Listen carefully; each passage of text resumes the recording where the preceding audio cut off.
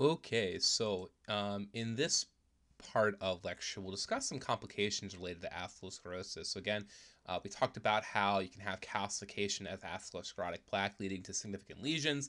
Um, you know, it's also important to note that even though there may be a thickened cap around the vessel, like uh, plaque formation and atheromas, like um, cause the vessel to be weaker, um, which can lead to hemorrhage, um, can lead to rupture of the vessel wall, formation of aneurysms.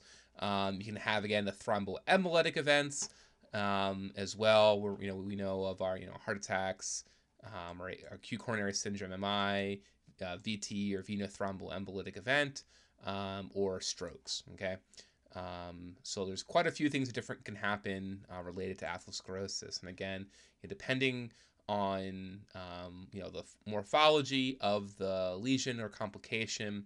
Um, you know, you can have different things uh, manifest.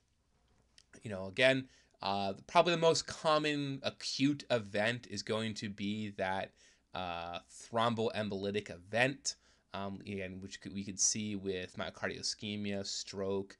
Um, however, if we have significant lesions, um, we can see you know limb claudication. We can see um, you know, unstable angina or ischemia um, during exercise.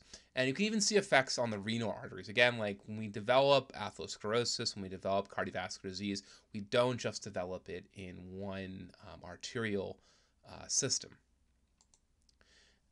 Okay, so next we'll dive into atherosclerotic heart disease specifically. So atherosclerotic heart disease, also known as coronary artery disease or ischemic heart disease, a condition where we basically have an imbalance between, between things that increase um, myocardial demand um, and uh, decrease myocardial supply. So if we have a supply-demand um, imbalance. And here are some examples of things that will increase uh, myocardial oxygen su su uh, supply or things that affect it, oxygen content, coronary blood flow, perfusion pressure, and things that affect uh, myocardial oxygen demand. So again, uh, wall stress, which is a, a, combination of factors of ventricular pressure, ventricular radius, and ventricular wall thickness. Okay, so some structural properties of the heart.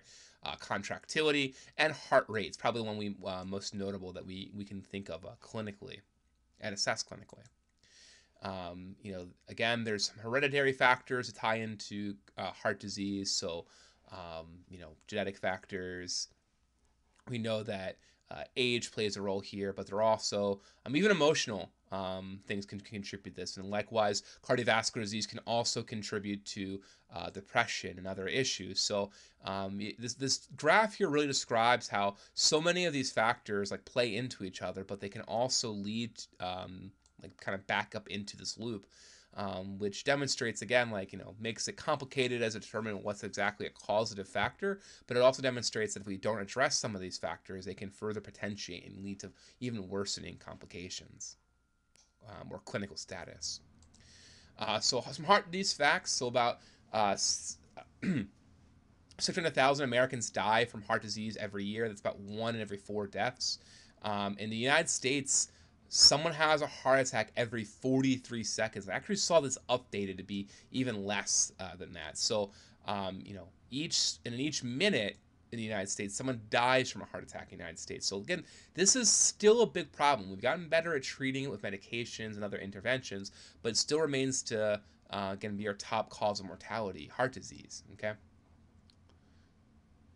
Um, and again, you know, you're more likely to see um, so as a causative factor for mortality or these acute events is going to be this rupture of these unstable plaques, creating a, a venothromboembolic event, right? There, I mean, you're, you're probably not going to see the vessel ever 100% sclerose, except in very rare instances. Um, and even then, up even up to 99% uh, occlusion, sometimes patients can have very marginal symptoms. Um, we have a total occlusion from a, from a, a a thrombus, you know, that's when we start having serious issues. Um, and again, this just speaks to um, that we've gotten better at managing uh, cardiovascular disease, um, but you know, uh, we it still remains a, a pressing issue here um, in this country. I'm trying to move my. Here we go. Still remains a pressing issue here.